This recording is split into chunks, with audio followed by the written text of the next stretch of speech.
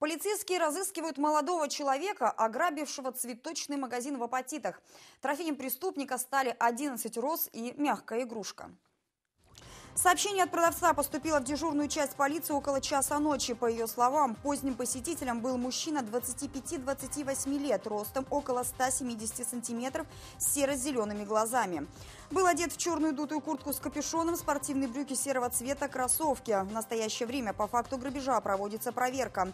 Полицейские обращаются к жителям Мурманской области с просьбой, если вы узнали молодого человека, незамедлительно сообщите об этом в дежурную часть отдела Апатитский или по телефону 02.